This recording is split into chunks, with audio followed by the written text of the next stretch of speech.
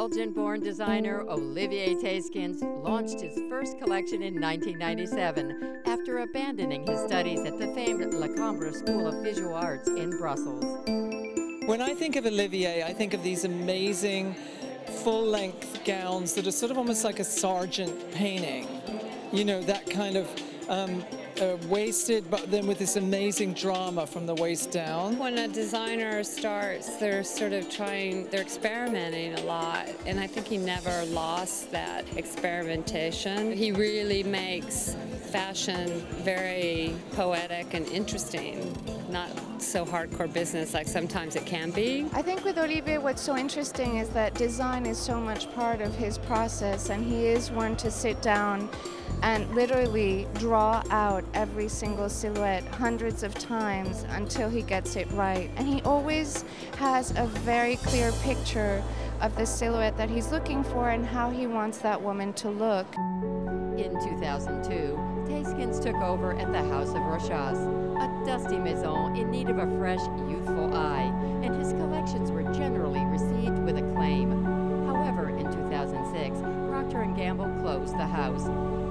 Theyskens quickly found a new home at another venerable maison, Nina Ricci, but suffered a similar fate at that house in 2009. You know, it's always difficult to be at the right house at the right time with the right team, proposing the right uh, fashion.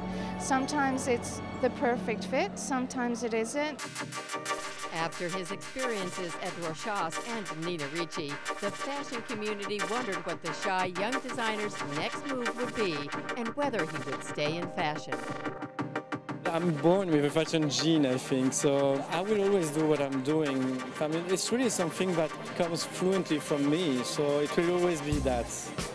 And um, yes, and you always try to look inside yourself something useful to create, something that uh, makes us evolving.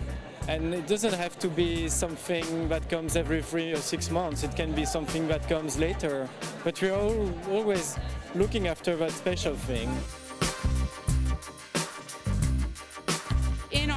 He's one of the greats. Like he really has it. It's not a nuance of styling. It's not a freak of history. It's not about connecting with the times or, or um, you know, sort of a good use of opportunities. He's just got it. And I really hope that, you know, he finds a place where he can do what he does again.